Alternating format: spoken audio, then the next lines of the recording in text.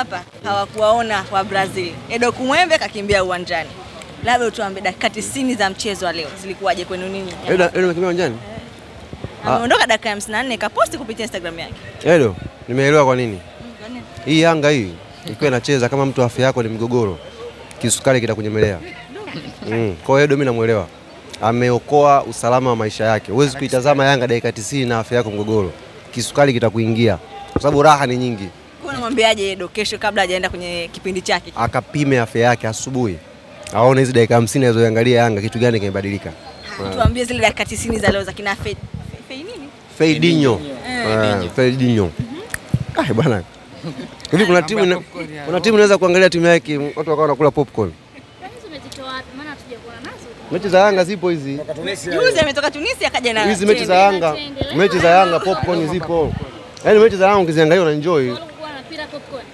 Sasa wewe una timu mshambuliaji kichwa anapiga kwenye utosi. Utakula popcorn wewe?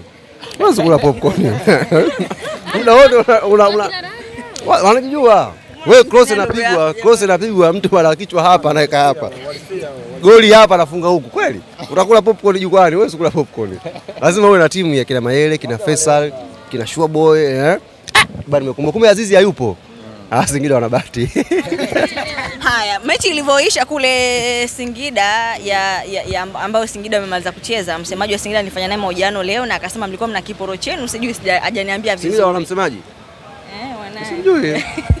Kwa hiyo tuniambia ni uongo. Sasa akasema kwamba mna, kiporo chenu yeye na- wewe, na akasema kwamba walivyomaliza hii mechi kule na Simba walipata confidence na wanakuja kuitoa na kuivunja ile unbeaten yenu. Mm. Leo dakika 90 zimemalizika na mtafuta anasema wamecheza pira la aibu. Kasema hivyo? Mm. Ah, si ana ujasiri.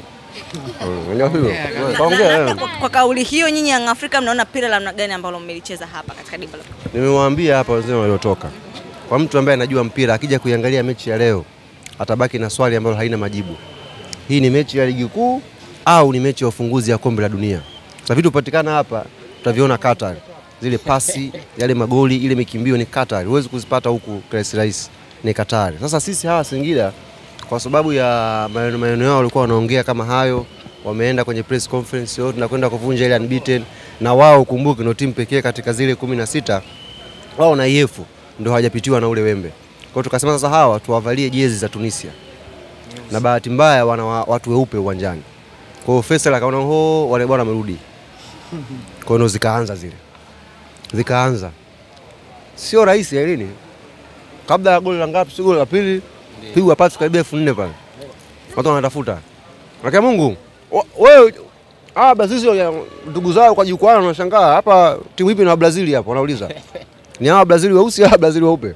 Fedinho huyo. Ule kiungo Singida ndo nani ule ule Bruno sijui kama anakaa nywele. Anakimbiza nywele tu leo, mpira haoni kaka, mbona unataja watu waovyo kwenye interview kaka? Kaja watu kupiga hata chenga hawezi.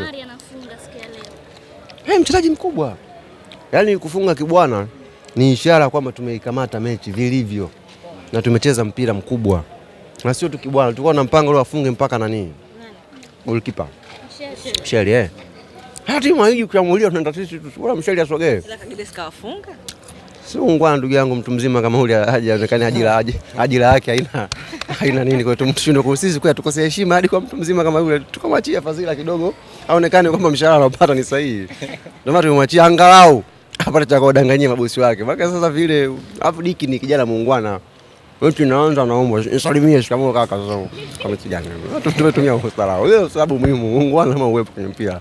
Alitoka juzi airport unakula tende. Leo hapa amekuja na Popcorn. popcorn. Yanga mbona kama mna furaha ime- ime- imepitiliza hivi? tuna timu sisi tuna timu wakati tunaundaunda hii timu yetu hii tunaitengeneza. Watu walikuwa hawamuelewi injinia hawamuelewi kabisa anasafiri usiku manane anatua na nini watu hawaelewi.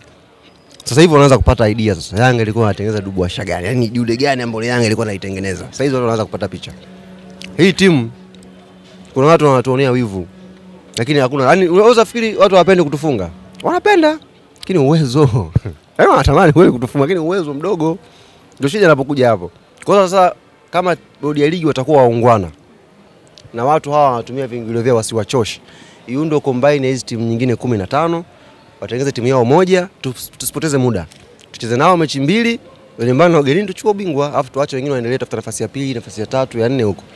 Sasa kama hatufungi unacheza kila siku za nini? Unaona hilo ndio uamuzi kabisa. Eh, waunde combine, bodi ya ligi wao waungwana, waunde combine timu kumi na tano watengeneze pale kikosi chao, tucheze nao mechi mbili, tena sio uwanja hapa, wachague viwanja hapa kucheza, twende tukacheze, tuchukue ubingwa wetu, tukae tuanze kuangalia watu. Sasa kama sasa hivi tuna mechi chache, tupo kileleni, tukilingana mechi shindo ubingwa unachukua raundi ya kwanza. Sasa ambao sasa tutaki, tutaonekana tunahenya saa watu, tunarudi mambo yale yale ya Ujerumani, kwamba ligi hii mtemi mmoja, sasa tutaki mambo hayo. Stori zilizopo mtaani, Faisal anatimkia kwa wanalambalamba na Hashim Ibu akiamka anaposti Faisal, akilala anaposti Faisal, kafanyeje hivyo. Kwa hiyo labda uambie wana Yanga wa, wa, labda waondoe hofu hao wananchi ambao wanakuja uwanjani na wanalipia viingilio Mm, kwamba Faisal mustakabali wake upoje. Tunafahamu sisi waandishi kwamba ana mkataba mpaka 2024 Wananchi, kula lakini Hashim anakwambia tajiri hashindi kitu. Tajiri upi? Mwenye nataka mimi niongee maneno hapa yaonekane kwamba unaelewa bwana. Alisema huku Akaminko huko Faisal.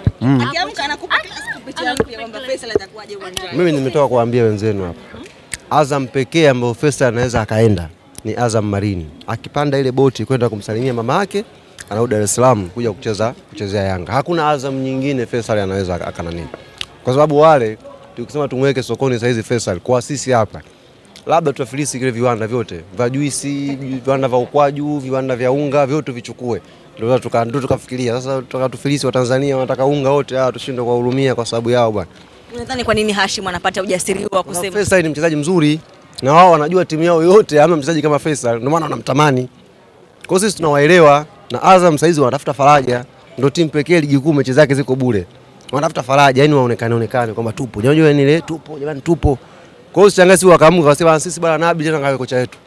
Ili bwana, basi rais wetu wa engineer. Wanaweza wapi, wanaweza. Pia unaupata kutokana na kwamba una uwezo wa kumchukua. Sasa ndugu yangu, huku Yanga kuna bilionea, yaani shida ni kwamba kule kuna tajiri, huku kuna bilionea, ndio tofauti iko hapo. Kwamba Hashim unaweza kumwambia nini? Hizi posti posti zake sasa, maana amalizae na Faisal, kesho ahamie kwa Molson, kutoka Molson aende kwa Aziz Ki, kwa sababu ndio timu pekee ambayo anaweza akazungumzia wachezaji wetu, kwa sababu wanahitajika kwao. Hawezi kwenda timu nyingine akataka wachezaji, ni hapa Yanga tuko sisi. Tunataka kesho akiamka atafute mwingine, kama atamwona Morrison amposti pale bwana Morrison na Kiple Junior, kesho kwenda Yanga sasa Aucho si una nani, yani aweke pale timu yake aongeze na Yanga, na ule ana akili kwa sababu wachezaji wake wanasoma. Ah, si uwezo mdogo, unajua si uwezo mdogo, anatuletea watu eh. alikamwe Kuna shabiki mmoja alikuwa anasema kwamba sijaona mpaka sasa nani wa kuisema Young Africans. Wewe umemwona? Wewe kabla ya kuniswali umeona kuifunga Yanga? Kwa shabiki ambaye alikuwa anasema kwamba ah, hajaona timu ambayo inaweza kufunga Young Africans. Pengine nyie viongozi hili linawazisha kwamba pengine kuna timu yote inakuja kuwapa kashikashi mpaka sasa. Hii mechi ngapi hatujafungwa? Si 47. 47 ndugu, mpaka hesabu zinaanza kushinda. Ni 47. Sasa ukiniambia niseme yupi atufunga, maana bado kuwa na combine. Mmembakisha EF unasema bado hajapitiwa. Yef. Mm, Yef naye anapambana nimeona. na niliwahi kuzungumza na Ahmed Ali eh, eh, hapo jana A- akasema kileleni kuna baridi leo amejali tena- Kaka lini kileleni? Lini? Li- Lini kaka? Alishakaa. Lini? Leo au jana? Jana kaka kileleni? Kabla Azam kabla Eh, ipo Azam kileleni akakaa wapi kileleni? Wao nafasi yao ni ile ya pili, yani pap pap, yani pap pap, nafasi ya pili ya tatu eh. Ya kwanza ipo Azam. Kwa pale ya kwanza huwezi hawezi kwenda kwenda wewe. Ni pale anakaa Azam na yeye baada ya muda mfupi anashuka. Unamtesa ndugu yenu, maana Hashimu ana posti Anateseka kwa alipokwenda. Hashimu alikuwa kijana muungwana tu, kachagua mwenyewe mateso. Kwa hiyo kazi alilazimishwa. Si mwenyewe kataka kwenda kwa msemaji wa Azam. Ahmed Kachagua na yeye mwenyewe kwa msemaji wa Kibu D. Basi bwana ndugu yangu.